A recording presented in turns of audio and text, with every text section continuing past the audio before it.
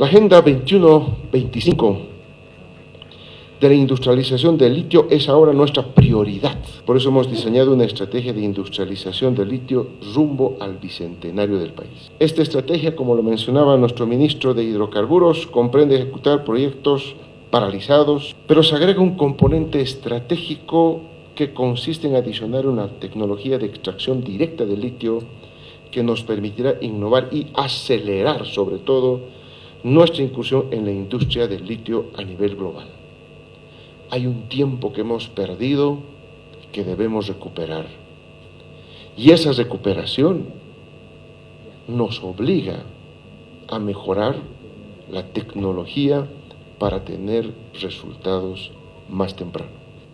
Por eso, la importancia de este evento que se ha realizado para recibir propuestas y elegir la mejor tecnología posible que nos posibilite alcanzar nuestros objetivos en el menor tiempo posible. Ha sido lamentablemente truncado todo un proceso por un gobierno dictatorial de facto, pero el desafío que tenemos como gobierno nacional es reencaminar el desarrollo y el crecimiento de la economía nacional hacia los estándares que estábamos marcando en nuestro primer gobierno.